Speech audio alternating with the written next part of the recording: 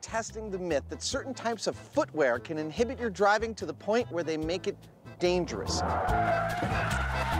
We've done some controls, and we've selected the three types of footwear we consider most likely to cause that difficulty. And now it's time to put this story to the test. It's why we're wearing our driving shoes. This is just wrong. Seriously, this could be dangerous, so stop laughing. Seriously, stop laughing. Yeah, Shall we? yeah. All right. These red heels were the third slowest performers in the reaction time tests. I'm glad. Oh, hey. Humans weren't meant to wear these things. But when the rubber hits the road, how will these shoes affect Adam's 117 benchmark?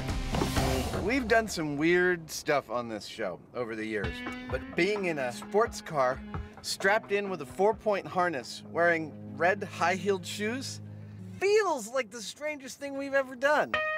And if it feels strange, I'm ready. Let's test these red shoes. let's see how strange he drives. Okay, red shoes in three, two, one, go. Unfortunately for Adam, there seems to be trouble from the very start. Harder to get up to speed because I'm pointing my toes. Because of the narrow toe ah, Whoa! Okay, that was different. and the towering heel, Into the reverse 180, ladies and gentlemen.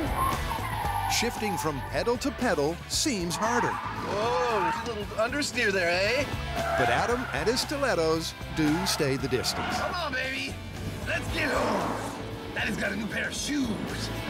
And he completes the lap. But how much have high heels hampered his handling?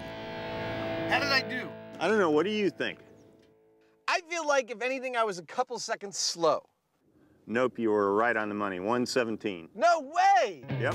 Adam has matched his control time exactly. 1 minute 17. Freaking hell, that's hilarious. In red 4 inch high heels. Ah, nothing like a good pair of driving shoes. But will there be a spike All right. in Jamie's lap time? You know, I might have a problem doing this if I was more insecure than I am. As it is, it's just another day on the job.